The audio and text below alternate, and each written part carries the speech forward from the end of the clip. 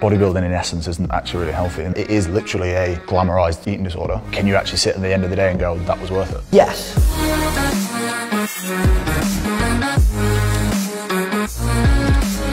I define my body, I guess, as a, a bit of a dad bod. It's basically anybody who still has some muscle mass but also has a bit of fluff on them. Yes, we're active, but we also enjoy life as well.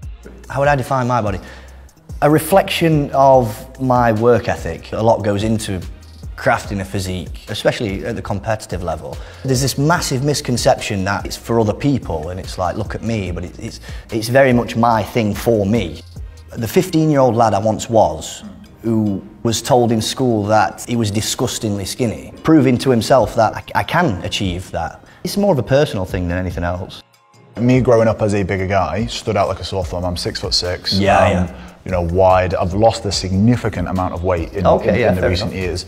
As someone like you in that moment to me would represent kind of like that must be the epitome of male dominance. I would almost now understand that it could be the other way around. That actually now, according to the female gaze of the, the attention I get, now I am more attractive and don't need to push as far. Yeah, yeah, In order to attract fair. the sort of people that I wanted to attract. If that makes sense. Yeah, yeah. I am mindful of what Yeah, I eat, yeah. but I don't micromanage every single nutrient. It's just almost balance at all, at all moments, you know, and I just enjoy a bit of it all, really, a bit of fitness and a bit of fun. I am just under eight weeks out from competing, so six to eight meals a day, low calories, high protein, clean carbs. We're going to be running at about four to five litres of water a day, a lot of caffeine.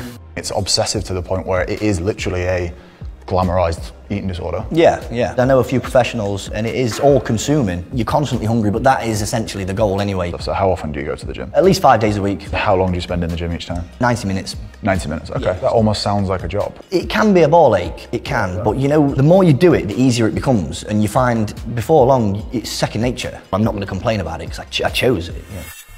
I did a post on my TikTok referring to a headline in a newspaper. Ditch the six pack and grab a beer, boys, because women prefer to sleep with men with dad bods. And it's like, oh, it's kind of irresponsible for sort of, especially mainstream media, to justify poor lifestyle choices. I agree that there is there is absolutely a, a, an issue with obesity. While I don't necessarily think that the dad bod term is something I necessarily like, it can actually represent the normal, real day-to-day man Yeah, who yeah. does have an extreme work ethic, who does you know support a family, who does Oh, have yeah, a really definitely. important job, and also.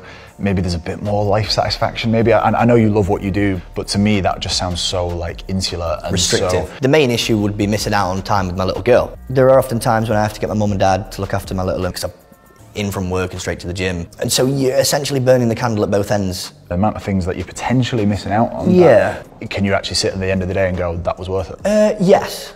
In life, you, you need an element of selfishness. All the sort of stresses and sort of pitfalls of life just fizzle away, and it's just me and it's the weights. It gives me that element of life that is just mine. I grew up a really insecure kid. And Yeah, yeah, I, yeah. I dealt with it through therapy and I dealt with it through building my emotional intelligence and, and from trying to understand the way, why I felt the way I did. And I, I tried the gym route and it was really, really great for me and, and it had great physical benefits, but mentally I was still in that rut. There's such a bigger world out there that you, you're missing out on because of the amount of sacrifices you're having to make. I believe the gym has had a profoundly positive effect on my life. Fighting off the mental demons, there is a massive element of sort of, maybe I go as far to say masochism without the sexual edge. it's brought me out of my shell massively. I think it could potentially have that similar effect on someone else. I was pretty shocked to hear about how much time he's given up with family, with, with his own daughter. I think what he's doing right now is obviously serving him well, but I think in the long run it's not sustainable, and I, I hope that I've, I've managed to open his eyes to that. Ben hasn't 100% persuaded me. I love the lifestyle that I live at the moment, but give it 10 years, reassess the situation. I would definitely rather be a dad bod just because it gives me more balance in life. I would rather be a gym rat because of my love for my lifestyle.